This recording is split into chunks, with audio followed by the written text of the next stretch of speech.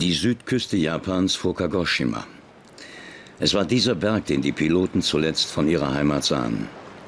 Sie nannten ihn als Huldigung an den heiligsten Berg Japans den kleinen Fuji.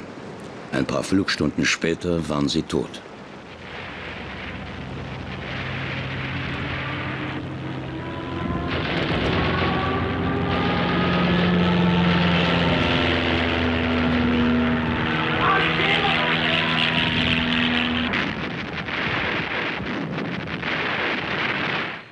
Wir Piloten hatten uns schon damit abgefunden, dass wir früh sterben würden. Ich hatte damals das Gefühl, mein Todesdatum sei vorverlegt worden.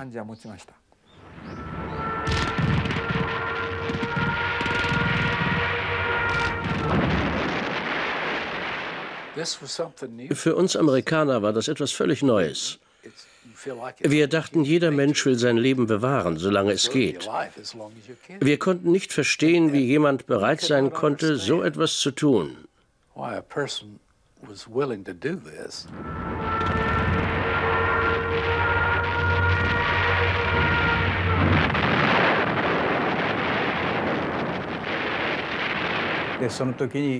Als es für mich Zeit geworden war zu fliegen, hatte ich zu meinem Vater gesagt, ich gehe dann. Wir verabschiedeten uns höflich, wie es Japanern eigen ist. Dann sagte er, was er eigentlich nicht sagen durfte. Er sagte, dieser Kampf ist verloren.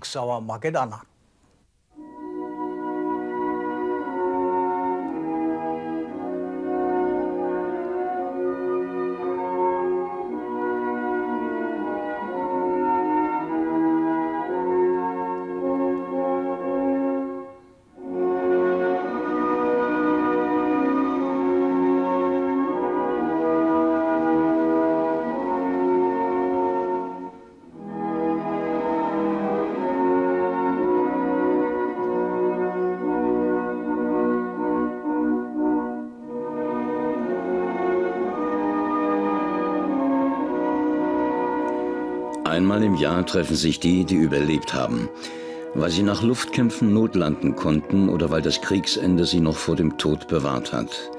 Damals, als sie 16 waren oder 21 und bereit zu sterben. Um im Dienst eines letzten mutigen Kommandos von ihrem verehrten Kaiser die Niederlage abzuwenden.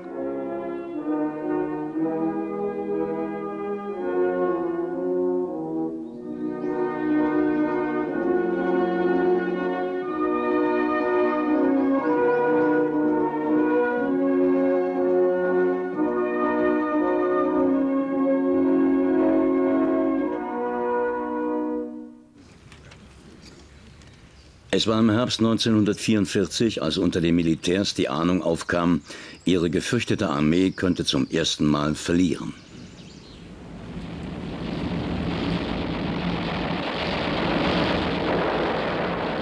Japans Piloten waren im Luftkampf des Pazifikkrieges unterlegen. Truthahnschießen nannten es die Amerikaner. Mit jedem Inselstützpunkt, den der Feind zerstörte, rückte er näher an die von Japan besetzten Philippinen und an Tokio. Japans Militärführung brauchte eine Idee, eine treffsichere Waffe gegen das Herzstück der alliierten Flotte, gegen die Flugzeugträger der Amerikaner.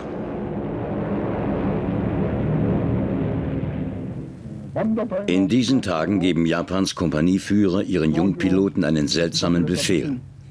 Es gibt eine neue Strategie, sagen sie. Sie bedeute aber, dass man nicht mehr zurückkehre. Ein jeder solle sich überlegen, ob er bereit sei, mitzumachen.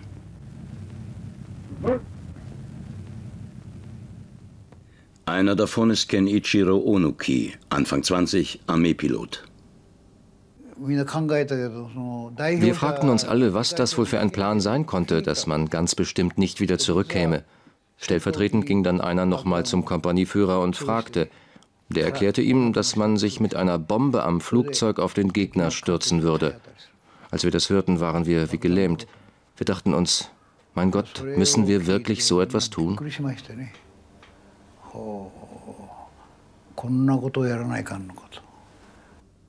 Onuki, ein Kind des kaiserlichen Untertanenstaates, sah seine Familie und sein Land bedroht. Und er wusste, dass man als Soldat auch fallen konnte. Auf der Stube diskutierten er und seine Kameraden die ganze Nacht über, was sie nun tun sollten. Offenbar sei die Kriegslage so ernst, dass andere Strategien nicht mehr halfen. Wir wussten, dass Japan an allen Fronten verlor. Am Morgen waren wir uns einig, dass es, solange wir Soldaten waren, wohl unmöglich war, Nein zu sagen.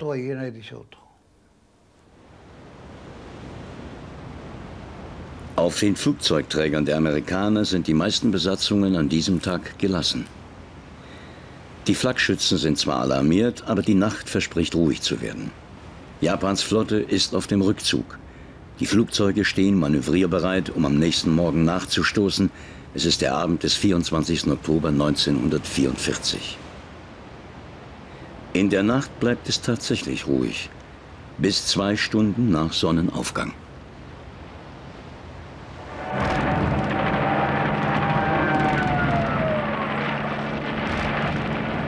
An jenem Morgen erleben die Amerikaner ihren ersten Kamikaze-Angriff.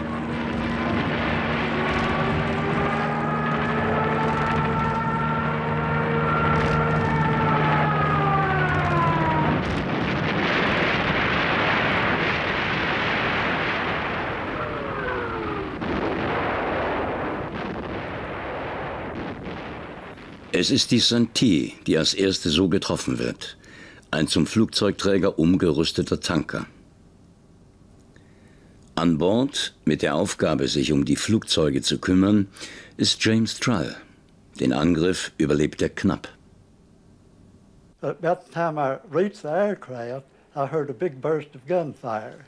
Ich war gerade bei den Flugzeugen angekommen, als ich plötzlich krachendes Gewehrfeuer hörte.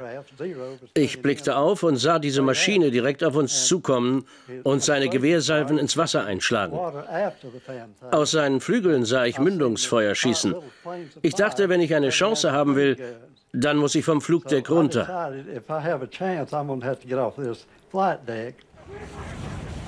Die Besatzung hält den Sturzflug des Piloten zunächst für ein Versehen allenfalls für die Verzweiflungstat eines Verrückten. Die Santee verliert an diesem Tag 16 Mann. Unter den Verwundeten sind Trall und der Flugzeugmechaniker Bill Simmons. Die Explosion wirft ihn zu Boden, für Stunden verliert er das Bewusstsein. Am nächsten Tag wurden wir wieder angegriffen. Und wir sahen dann, wie die Flugzeuge die Schiffe um uns herum trafen. Da wussten wir, dass es kein Versehen war, sondern Absicht. Das hat damals unsere Einstellung sehr verändert. Wir dachten, wir hätten den Krieg so gut wie gewonnen. Ich glaube, die Japaner hätten sich nichts ausdenken können, was uns Marinesoldaten mehr demoralisiert hätte als die Kamikaze-Flieger. Japans Hoffnung schien sich zu erfüllen. Die neue Taktik wurde in Tokio als Erfolg gemeldet. Nur eines stimmte nicht. Die Trefferzahlen.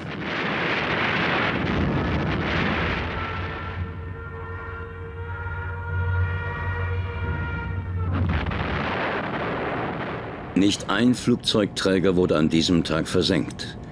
Doch Piloten wie Onoki, die nun auf der Kamikaze-Liste standen, erfuhren davon nichts. Die Militärs brauchten Helden und sie wussten, wie man welche macht.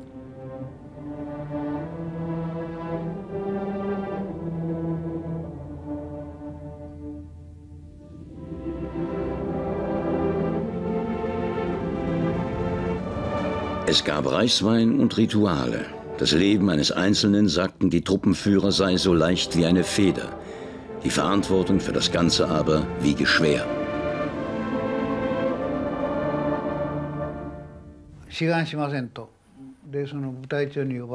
Nur einer von uns hatte Nein gesagt.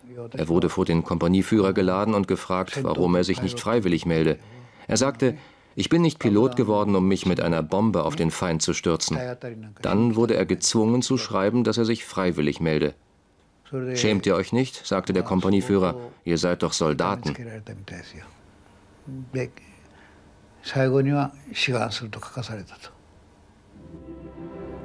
Man versprach ihnen sogar, dass sie zu Göttern würden.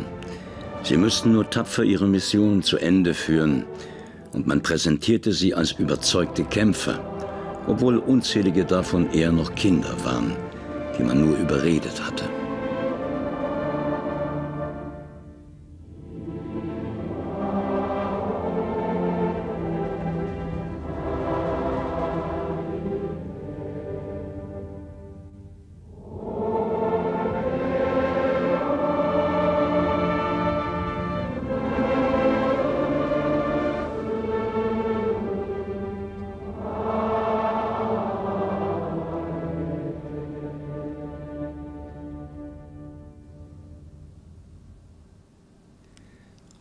Davon war Shigeyoshi Hamazono. Vom Feind abgeschossen, überlebt er schwer verletzt. Es war eine Lüge, dass die Piloten freiwillig flogen. Die klugen Köpfe im Hauptquartier hatten es für besser gehalten, es nicht als Zwangsmaßnahme erscheinen zu lassen. Also hatten sie vereinbart, dass jeder auf eigenen Wunsch fliege. Das war nichts als eine Ausrede.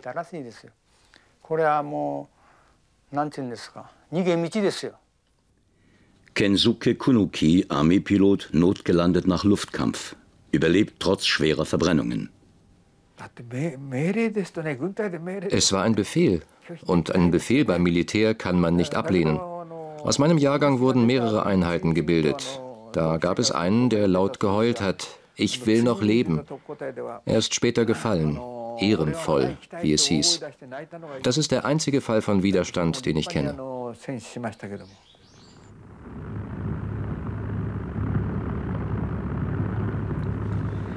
Zuerst wurden sie in Kleingruppen rekrutiert, dann zu Hunderten. Am Ende wurden es mehrere tausend. Mag sein, dass anfangs Einzelne die Chance hatten, sich zu verweigern, die allermeisten hatten sie nicht. Japan hatte seine Helden mit Bomben am Flugzeugrumpf. Der Jubel war öffentlich, die Trauer blieb verborgen, so wie Japans Tradition es vorsieht. Die meisten dürfen nicht einmal von ihrer Familie Abschied nehmen. Einer der wenigen ist Masamichi Shida, Absolvent der Marineschule. Als ich zum letzten Mal zu Hause war, schloss meine Mutter die Papierfenster und sagte verzweifelt, mein Junge, komm mal her, kannst du das nicht ablehnen? Sie sagte es zweimal. Dann umklammerte sie mich und erzählte Geschichten von früher, all das Schöne, was wir erlebt hatten. Aber ich musste bald zurück, weil ich nur eine Stunde weg sein durfte. Ich dachte mir damals, dass meine Mutter wahrscheinlich nicht anders kann.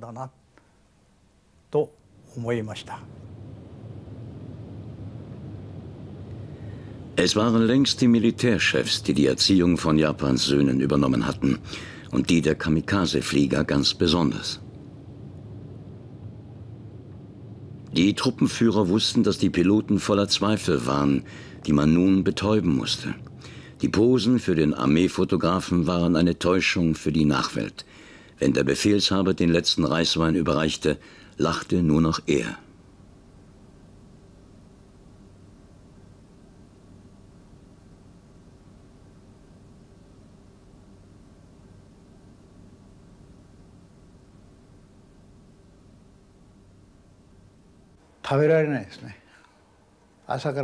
Von all dem köstlichen Essen, das es da plötzlich gab, bekam ich nichts in den Magen. Ich konnte nichts essen. Ich habe von morgens an nur Reiswein getrunken. Meine Brust schnürte sich zusammen. Und es gab nur den Reiswein, um sich abzulenken. Es gab davon so viel man wollte.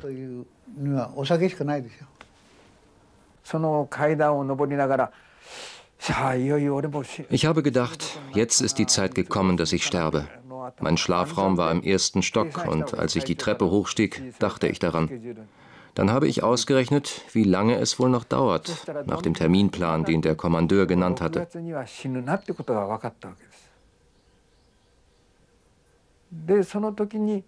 In dem Moment rief einer der anderen von unten, Kunuki, du bist so blass geworden. Hast du Schiss vor dem Tod oder was?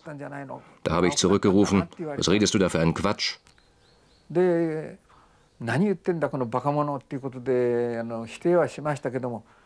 Aber in Wirklichkeit dachte ich, man sieht mir also an, dass ich ans Sterben denke.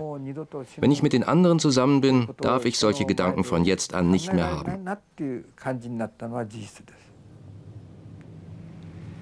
Sie sollten Haltung zeigen, wie man es von ihnen erwartete. Und die meisten taten es. Alles andere behielten sie für sich.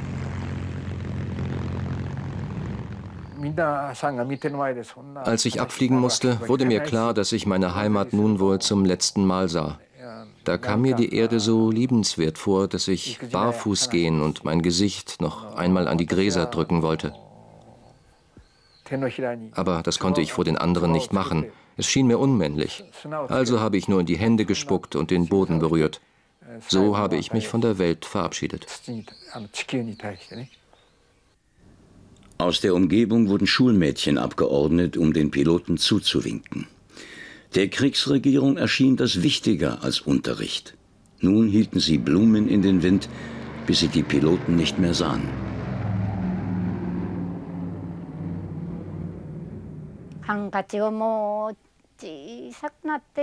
Wir hatten auch Taschentücher, um zu winken, vor allem wenn es keine Blumen gab. Wir winkten, bis die letzte Maschine hinter dem Berg verschwunden war. Wir waren erst 13, 14 Jahre alt und wir weinten.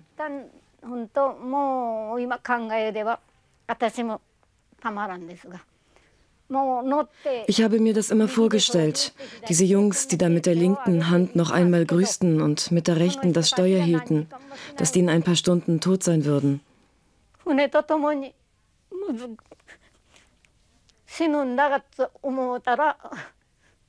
So standen wir da mit unseren Taschentüchern. So haben wir ihnen bis zuletzt noch nachgeschaut.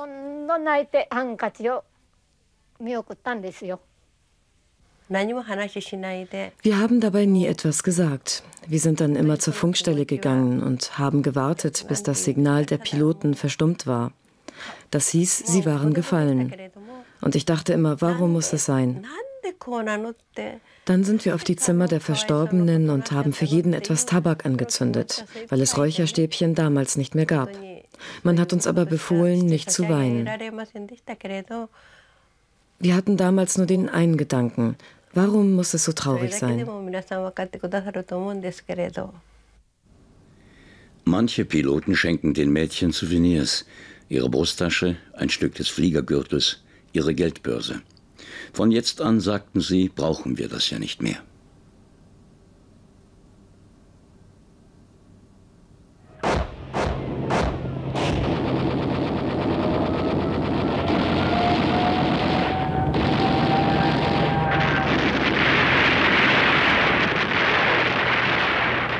Im Januar 1945 entschied sich der Kampf um die Philippinen zugunsten der Amerikaner.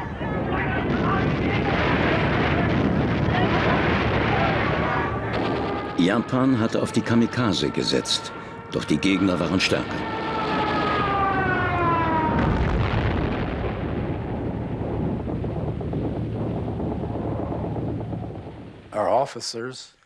Unsere Offiziere und Diensthabenden erkannten, dass es nur einen Weg gab, die Kamikaze aufzuhalten, den Himmel mit Flakfeuer füllen.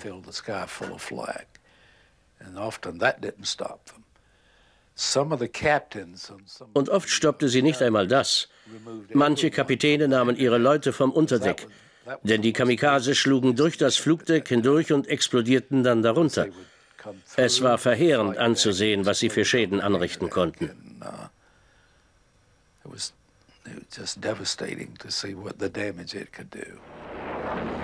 Manche Kamikaze-Einheiten änderten inzwischen ihre Strategie. Sie griffen im Flachflug an. Nicht, dass sie keine Schiffe trafen, aber um den Kriegsverlauf zu ändern, trafen sie zu wenige. Eines davon ist vor Taiwan die Ticonderoga. Ein anderes 150 Meilen vor Manila die Essex.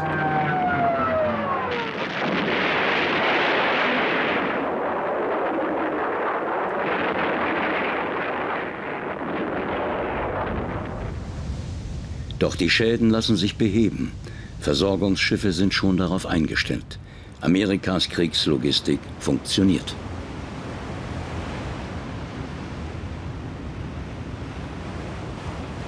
Die beschädigten Decks sind reparabel, die ausgebrannten eigenen Maschinen ersetzbar.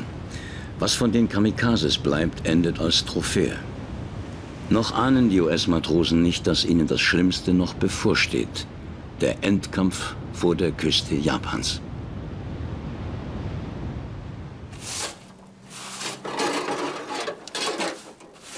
Über den Umgang mit den Kamikazes in jenen Monaten redet Ono Kino selten. Die meisten seiner Landsleute wollen es nicht hören. Japan hat es mit der Aufarbeitung seiner Kriegsgeschichte bisher nicht sehr weit gebracht. Aber Onuki legt Wert auf einen klaren Blick.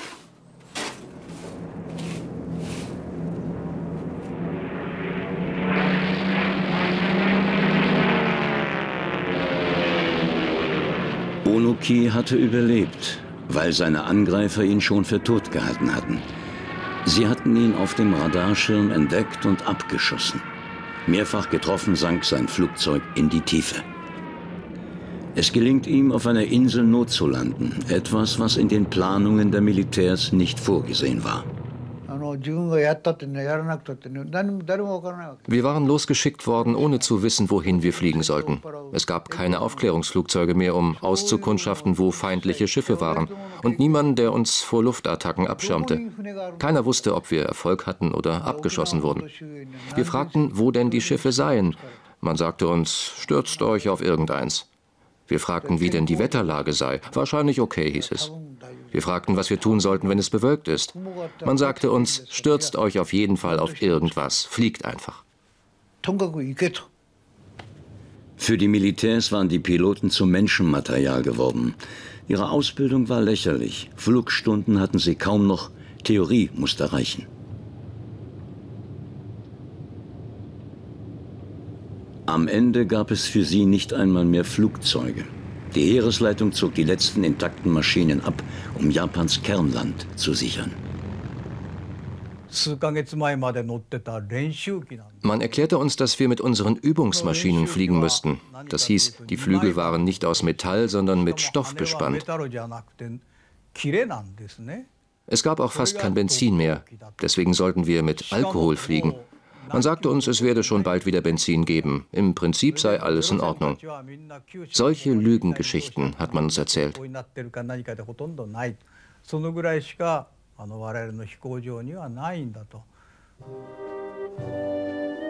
Was ihnen an Ausrüstung fehlte, glichen die Befehlshaber mit Pathos aus. Zum Verheizen brauche man keine guten Piloten, hieß es in der Militärführung. Sie müssten ja nur einmal fliegen.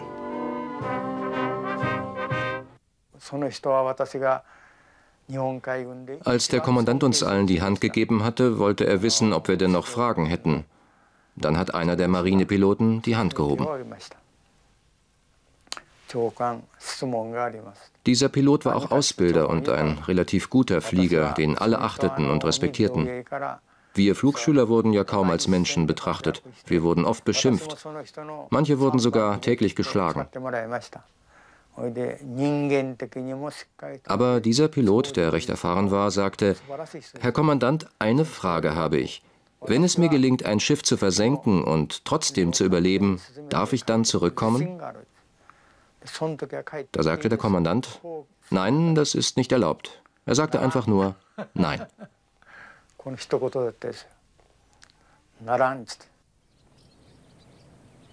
Wer am Leben hing, galt in Japans Militärtradition als schlechter Soldat. Auch Onuki bekam das zu spüren, als er sich nach seiner Notlandung in einem Lager wiederfand, das es offiziell nicht gab.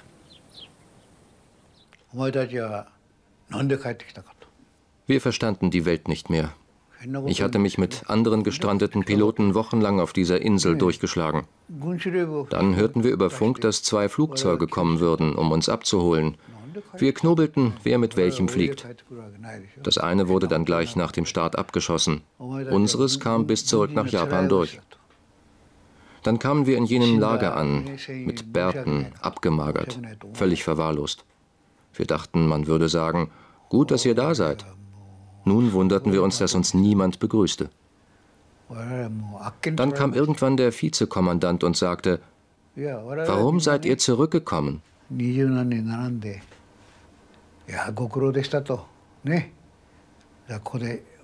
Ich dachte mir, was redet der denn da? Die haben uns doch selbst geholt. Dann fragte er, ob wir uns nicht schämten. Er sagte, ihr seid ein Schandfleck für unser Militär. Und später wurde ich fürchterlich verprügelt. Der Vizekommandant kam jeden Tag und sagte, ihr seid lebend zurückgekommen, ihr seid psychisch unberechenbar.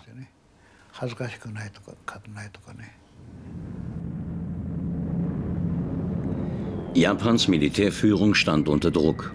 Über Tokio waren Langstreckenbomber der Amerikaner aufgetaucht. Fast unerreichbar hoch für Japans Abwehr.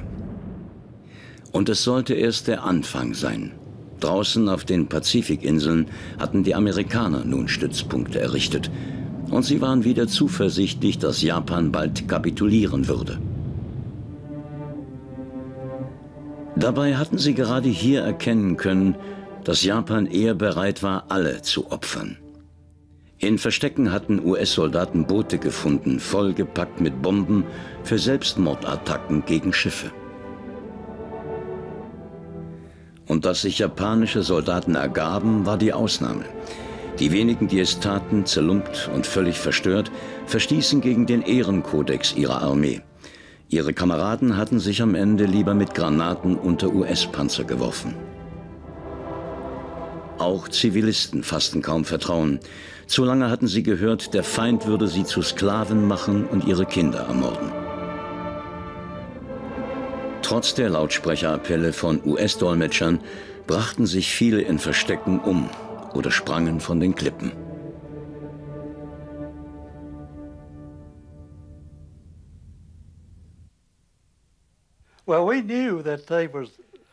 Wir hörten davon, dass sich viele Japaner dort selbst opferten. Wir hörten, dass ihre Soldaten anders seien als andere Soldaten, dass sie sogenannte Banzai-Attacken durchführten. Das heißt, zu Hunderten ins offene Maschinengewehrfeuer rannten. Vom Hörensagen kannten wir das.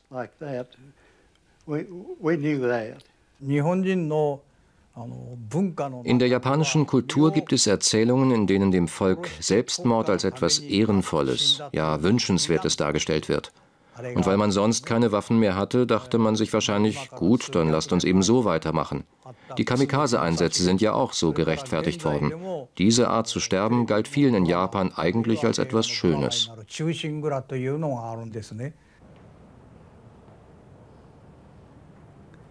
Und die Militärchefs machten weiter.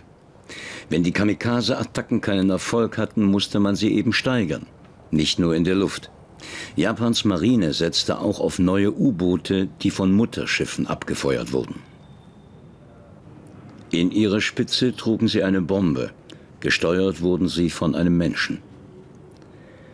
Ob er traf oder nicht, er kam nie mehr zurück. Und auch für die Flieger hatten sich Konstrukteure etwas Neues ausgedacht. Der Kamikaze-Pilot sollte nun nicht mehr in einem Flugzeug sitzen, sondern in einer Art Raketenbombe. Ihre Erfinder nannten sie Okas, Kirschblüten, denn wie ein Blütenregen sollten sie vom Himmel fallen. Trägerflugzeuge waren bereit, sie in die Nähe ihres Angriffsziels zu bringen. Es war Fujio Hayashi, ein Absolvent der Marineakademie, der die Auswahl der Piloten übernahm. Im März 1945 kamen sie zum Einsatz.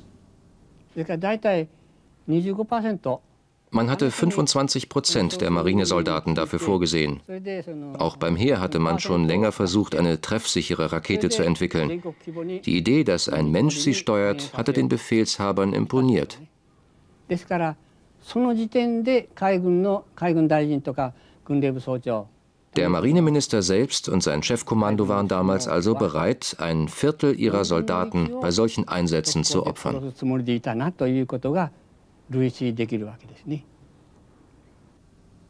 Für die Amerikaner waren sie leichte Beute. Ihre Kampfpiloten konnten die schwerfälligen Trägerflugzeuge mit den Okas am Bauch in Ruhe ins Visier nehmen.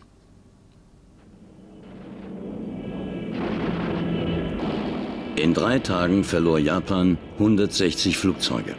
Alle Piloten, ob in Rakete oder Mutterflugzeug, waren tot. Dann wurde die Idee aufgegeben.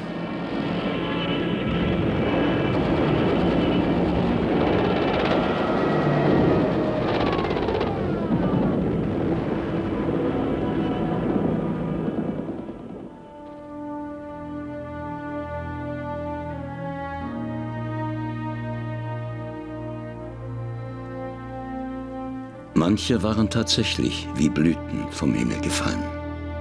Hayashi arrangierte sich mit seinen Schuldgefühlen. Wenn man einen Krieg führt, stirbt man sowieso irgendwann. Vielleicht lebte man etwas länger, wenn man nicht mit einer Bombe flog. Aber das machte keinen großen Unterschied. In Japan betrachtete man die Kirschblüten immer als Symbol der mutigen Soldaten. Die Kirschblüte fällt vom Baum, wenn sie am schönsten blüht. So habe ich damals gedacht. Die meisten Piloten, die ernannt worden waren, glaube ich, wollten ohnehin lieber früh sterben.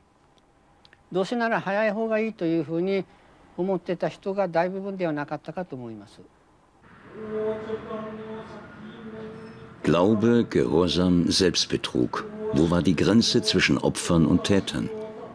Wer sie sucht, findet sie in Tokios Yasukuni-Schrein, einer Wallfahrtsstätte für Kriegsveteranen. Die Seelen der Soldaten, heißt es, fanden hier ihre Ruhe.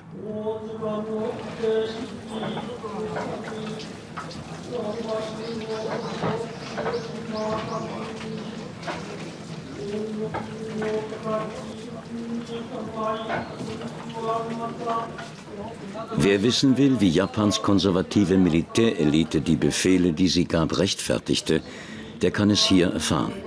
Weil nicht wenige von denen, die sich hier versammeln, heute noch genauso denken.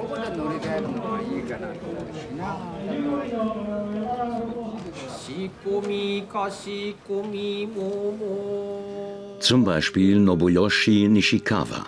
Zweiter Gruppenführer war er damals, wurde in einem Luftgefecht verletzt und kam danach nicht mehr zum Einsatz. In seinem Haus hängt Kamikaze-Romantik und wenn er anderen davon erzählt, leuchten seine Augen.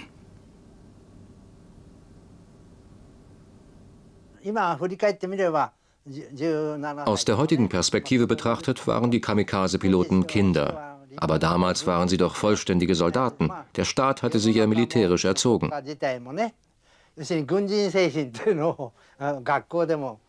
Ich habe sie also nicht als Kinder betrachtet, sondern als Soldaten.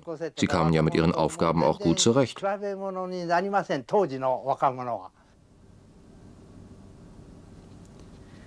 Dass seine Soldaten auch damals Kinder waren, weiß auch Nishikawa. Mit 13 oder 14 waren sie zum Militär gekommen. Keiner von diesen Jungen überlebte. Es war die Gruppe mit dem Hundemaskottchen.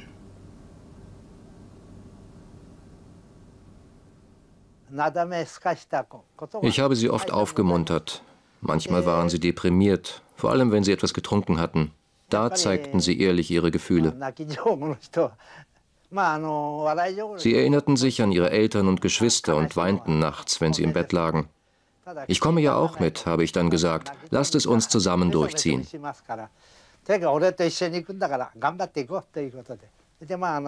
Ich glaube, dass sie ihr Leben gern für das Wohl des Volkes geopfert haben, dass sie gern gestorben sind. Aber ich habe sie oft beruhigen müssen. Die Jungs, so erklärt Nishikawa, hätten eigentlich ja auch nicht trinken dürfen. Yukio und seine Kameraden seien für Alkohol ja viel zu jung gewesen. Yukio Araki, gefallen im Frühjahr 1945. Seiner Familie blieben Abschiedsbriefe, die er ihnen hinterlassen hatte. Bei Eintreffen der Todesnachricht sollten sie sie öffnen. Er bedankte sich darin bei seinen Eltern für alles, was sie für ihn getan hätten. Seinen Bruder bat er sich, um sie zu kümmern. Außerdem bekamen wir ein paar abgeschnittene Haare und Fingernägel von ihm als Erinnerung. Ich weiß noch, dass ein ganzer Fingernagel dabei war.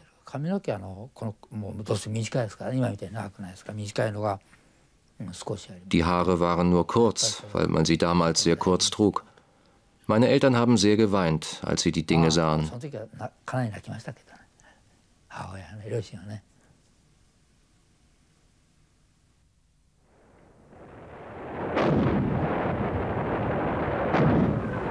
Im April 1945 erreichen die Amerikaner Okinawa, Japans südlichste Inselgruppe. Sie wundern sich über den geringen Widerstand. Alles ist ruhig, verdächtig ruhig.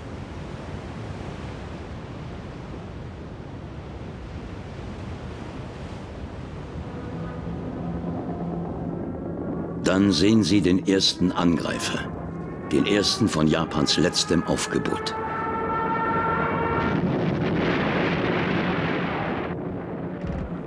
Was folgt, ist eine der erbittertsten Schlachten des Pazifikkrieges.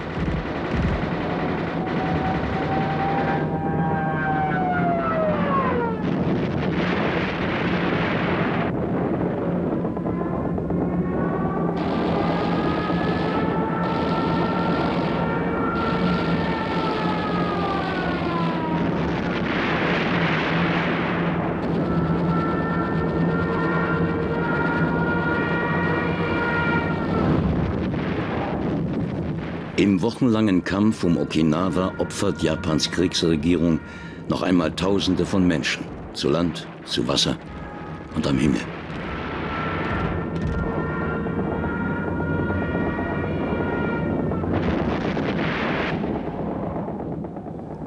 Zwei Leidensmonate später, nach dem Atombombenschok und Russlands Kriegseintritt, verkündet der Kaiser im Radio die Kapitulation. Wir müssen, sagt er seinen Untertanen, das Unerträgliche ertragen.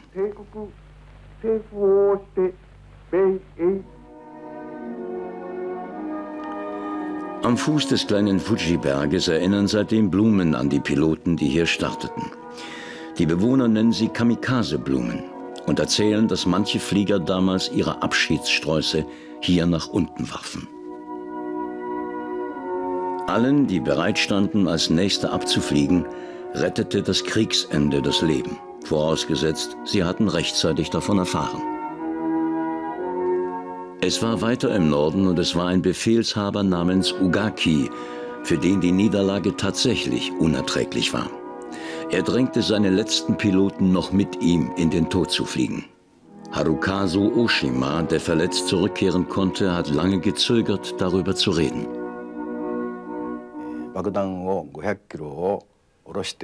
Unsere 500 Kilo Bomben waren noch gegen 800 Kilo Bomben ausgetauscht worden. Um das Gewicht auszugleichen, mussten wir den Treibstoff halbieren. Der Befehlshaber sagte, ich fliege voran, ich bitte euch mir zu folgen. Es waren 22 Piloten, die er benannt hatte.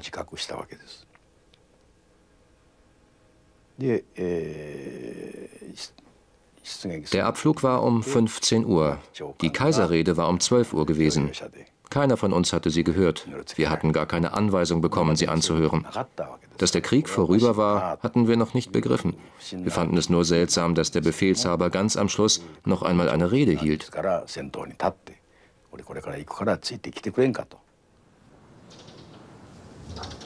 Von unseren Militärchefs, sagt Onuki, wurde nach dem Krieg kaum einer zur Verantwortung gezogen. Nicht einmal die Fehler auf den Namenslisten der Piloten wurden korrigiert. Nicht alle, die starben, waren notiert worden. Umgekehrt erklärten die Behörden manche für tot, die in Wahrheit überlebt hatten. Wie Onuki.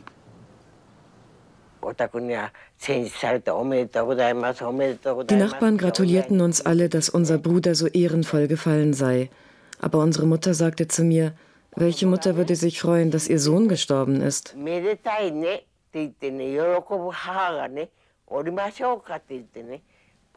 Als der Beamte vor der Tür stand mit der Todesmitteilung und dem symbolischen Knochenkästchen, ging sie hinaus, nahm ihm das Kästchen ab und bedankte sich förmlich.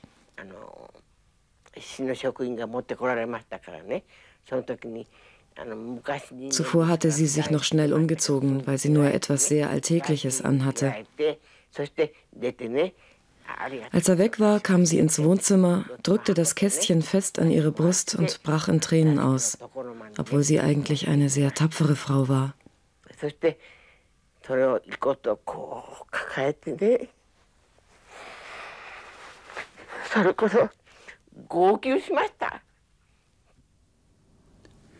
Onuki ging später hin zu den Beamten und bat sie, den Fehler in den Akten auszubessern. Sie sagten ihm, da könne man nun nichts mehr machen, man habe die Trauerfeier schon veranstaltet. Ich war ins Kommandaturbüro eingetreten und wollte die Unterlagen sehen. Da sagte man mir, wir können sie Ihnen nicht zeigen. Dann sagte ich, ich möchte sie aber sehen. Da stand der 3. April 1945 und ein Kreuz. Das heißt, sobald man losgeflogen war, wurde markiert, man sei gefallen.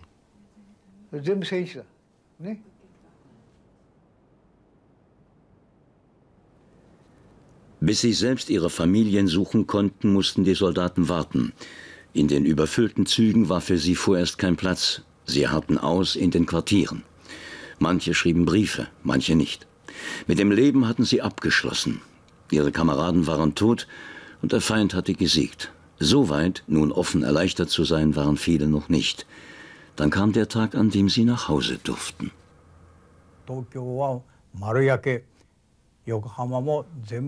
Tokio war völlig niedergebrannt. Yokohama, wo unser Haus stand, auch. Aber seltsamerweise war es von den Angriffen verschont geblieben. Ich bin in den Eingangsflur getreten mit meinem bisschen Gepäck. Es fiel mir schwer, denn ich habe mich geschämt. Dann blickte ich vorsichtig in den Raum, wo meine Mutter war.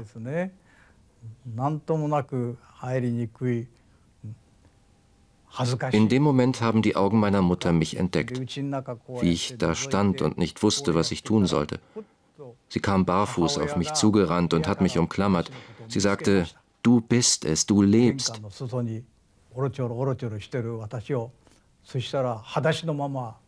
Ich glaube, für sie muss das wie ein Traum gewesen sein, mich lebend wiederzusehen. Und dann hörte sie gar nicht mehr auf und sagte immer nur, Masamichi, Masamichi, du lebst wirklich, du lebst wirklich.